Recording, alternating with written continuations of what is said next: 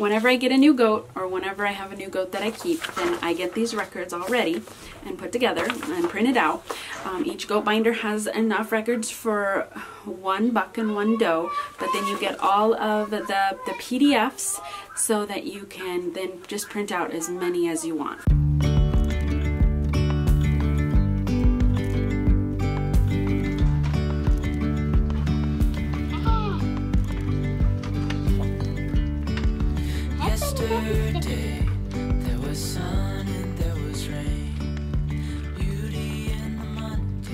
If I cover all this up to keep the birds out, how will lovely goats stick their heads through to get a snack? Just put it right here, hook the fence here, and then. But then they could fly through here. oh yeah, I didn't even think about. it. Yeah? Wait, don't forget about. I know, I'm gonna have to cover up all those that too. but yeah, they won't be able to stick their heads over anymore. Have a little door, uh, goat door. A goat door? Flip up. there you go. So somebody in the comments mentioned that we should get a cat in here. What do you think of that? Do you think a cat would be the solution to keep the birds out? Would that be enough? What if it gets into other stuff? Do you think a cat would? Maybe. What if it Maybe start licking stuff that it shouldn't get into. Hmm, but then also there would be fresh milk for it every day. Yeah. they could Hmm. keep try to catch birds and mice, Uh-huh. and then get fresh milk Yeah. from these lovely goats. Castles out reaching for the ground. So we lost lose track of Good morning, my friends. I hope you're doing well today.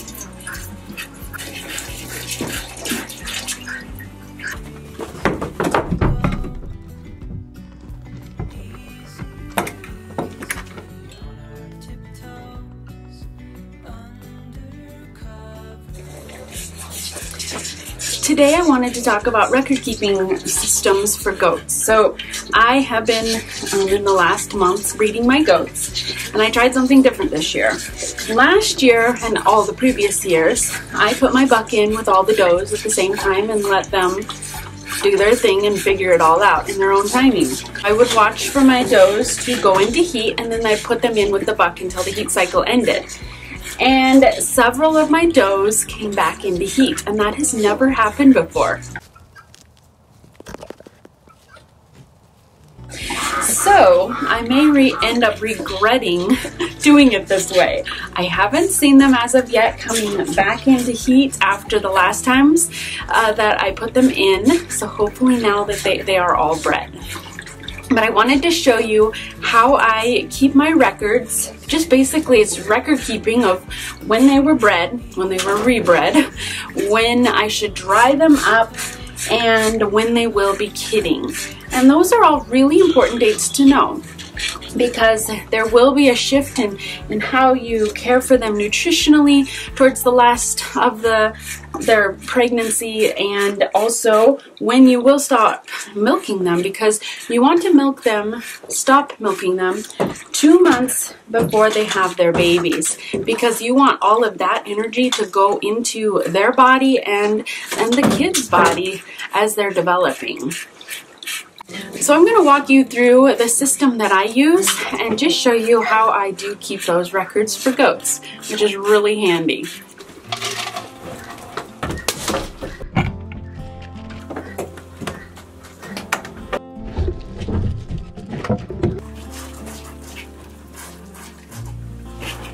So in the long run, it would be nice to have my does spread out in their kidding times so that I could have milk uh, more throughout the year so that we could have them spread out enough that we would actually have milk maybe even year around.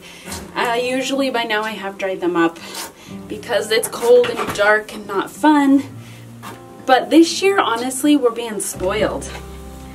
We have had a very, very mild winter and it is showing in the 40s this next week and there's no snow on the ground. There's some ice, but it's pretty amazing the weather we've had. But I've been following the fog in our area. If you don't do that, at least up here, it's amazing how it works. So when there's fog, You mark that on your calendar, and three months later, there will be moisture. So in March, there's going to be a lot of moisture here, probably in the form of very heavy, wet snow. but we need the moisture, so we can't complain about that. That's the hard thing. It's nice to have this nice weather in the middle of winter, but then you also are always thinking, man, we need the moisture. I don't know. It's it's the first winter that we have ever had no snow for a while.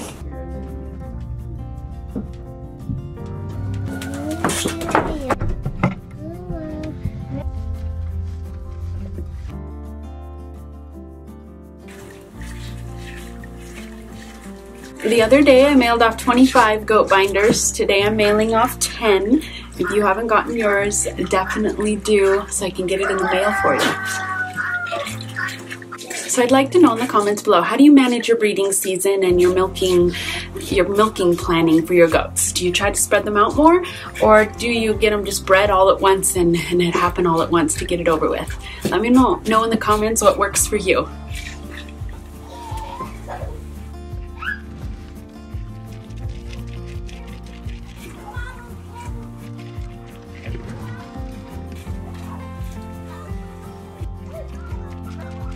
The first key to your goat records is my goat binder. So once you have this, you have a complete system for your goats to keep track of all the records and all the health and all the information that you need about everything for your goats. So get that.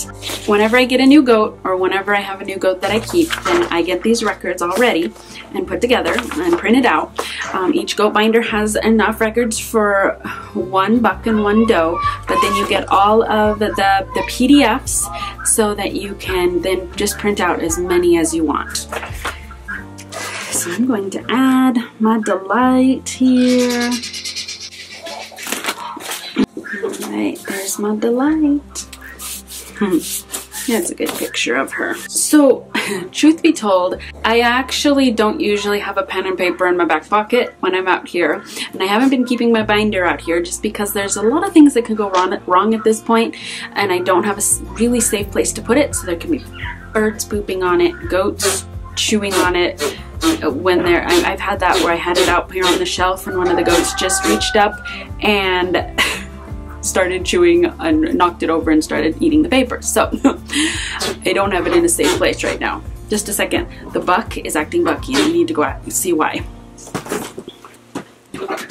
So because of that, usually like when I was putting in my, my does, I would then record with my phone or take a picture of them doing their, their stuff. So that was how I was recording them when they were coming into heat and when I would put them in with the buck. So that may work for you, it may not. So I need to go back here to the beginning. Lots of pictures here. You know, Delight was the first one that came into heat. I was so excited about that. And so we put her in there. And she didn't actually take uh, the first time. I put her in a second time, so I haven't seen her come back into heat. I'm hoping she got. Oh, it makes me nervous, honestly. Okay, here we go. So, like you could see this video here is Delight on October 29th. Um, she was wagging her tail and I put her in with the bucks. So that is what I would document in the records here. Man, it's hard to do things with a coat on, I'm telling you. don't do well with coats. okay, goat reproduction. Okay, so here's my goat reproduction page. And it is, here's the heat cycle, buck name, and you can put the bred on, bred again. And if you do, um, check to see if they're pregnant when you dry them off and the due date. So, so she was bred on October 29th but then she was bred again, so I need to find that. So their heat cycle is approximately 21-ish days, and so on November 18th, she came into heat again. Because she was showing interest. You could see here that she was showing interest once again. From there, now the next important thing is go to alifeofheritage.com And I'll leave the link below. There is a gestation calculator on the page that I'll link in down below in the description. So the breeding date then was November 18th. Uh, 417 is when she will be due, her due date. So I'm going to put her due date right here. So just like that. Now, she is one of my does that isn't in milk. When I bought her, she wasn't in milk. So I don't have to dry her off at a certain time because she's not in milk. But that would be something that if she was, I would write down two months before April 17th, I would write down that date and dry her off on that date. And then the, you know, it also has moved to the kidding stall, so I'll really be watching her that week before and watching for signs as she develops into going into to labor. And that's um, an awesome video you can watch on my channel. And then it talks about, you know, you can write down how many were in the birth. And then there's more paperwork then, you know, that you can write in here, more detailed information of the breeding date, the buck, how many offspring, the sex, and any comments about the birth and pregnancy. And then pregnancy notes, delivery notes, offspring notes. You know, if there was anything that went wrong during the pregnancy, like ketosis or, or some something, uh, a met metabolic symptom, you know, where her health declined rapidly, or something um, during that, that you can keep tracks track of that and write that down so that you don't forget. Don't ever expect your brain to remember everything. And then uh, this is something too that you can keep track of from year to year. The first kidding year that they had was in this year they had this many kids the next year they had this many kids and on and on. So you can keep track of all of that. And then also just in in here is the the test results. So if you have uh, if you're doing tests on your goats you can can write all of that down and the results of those tests. If they were sick you can write down. See i think this is so important I just had a lady email me, but she said, You just saved my goat from pneumonia. Thank you so much.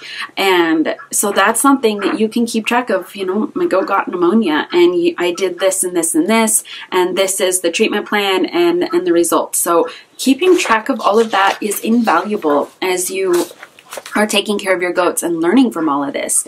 And so definitely be keeping track. And so that's kind of just an overview of how I go about from start to finish uh, with keeping records for my goats. If all goes as planned and they are pregnant and, and got, got bred, uh, I am getting it so that they are spread out, which is nice because I, I'm wanting to start milking them at intervals so I can have them milk long, for longer periods of time. So um, it looks like I'll be drying up a couple in February and a couple in, in March and and then we'll be able to start milking earlier because Faith is the first one that will be kidding so I can start milking her first pretty earlier than the others. Alright so we're getting closer to the end of getting all the dates actually written down in my goat binder and so we are, are getting pretty close uh, to having this part of the process done. I absolutely love these Clever Fox planners. They are awesome. so they have pretty big boxes for each month of the year that you can fill in and write in. And then they also have these wonderful things for monthly reviews and planning and goal setting. And then in the back, you can fill out daily your, your tasks for the day and you can take notes in the back. And so I think these are absolutely awesome and um, I've used them for several years now. And now is the time then with all these dates to get them written down in your calendar so that and then to look at your calendar. put a put a, a, reminder on your phone to look at your calendars so you remember the, to look at the dates so you can be prepared and when, when to watch for everything. So I hope that was helpful in just showing you what your goat records can look like and how helpful it is when you're planning your year. There's nothing more disheartening or, or even scary sometimes when you realize that you weren't prepared and things went badly because of that. So you can be prepared. You can have have awesome goat records for your goats, for your herds, and for your, your goat herd, and you can be prepared and have this all planned out for your year very easily. So I hope that was helpful for you to see. Thank you so much for watching today, and uh, I just pray and hope that you have a wonderfully blessed day, that you're staying warm, and that you are looking forward to those baby goats coming this spring. Have a great day. We'll see you in that next video. But first, I need to go see. Shadow this whole time has been making buck noises and it's making me nervous. So I need to go see what he's talking about. Let's go look. Did you guys forget I was still here? Yeah, Shadow, you're the one that's bothering me. What are you talking about? You're in the way, Delight.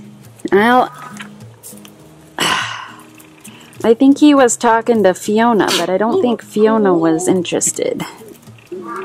No, he. What are you talking about, Shadow? yeah, you.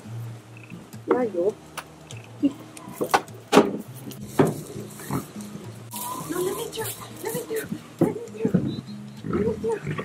One of these yahoos pulled out the the heater in the water and so it was frozen overnight.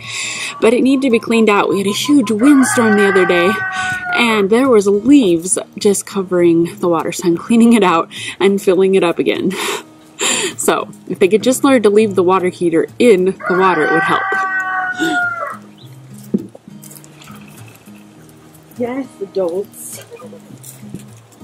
Adults. One of these paint scrapers is awesome to scrape the bottom of water tanks. So they, they just scratch off the, oh, you know, just the mossy or whatever it is that gets on the bottom. It scrapes it off so nice.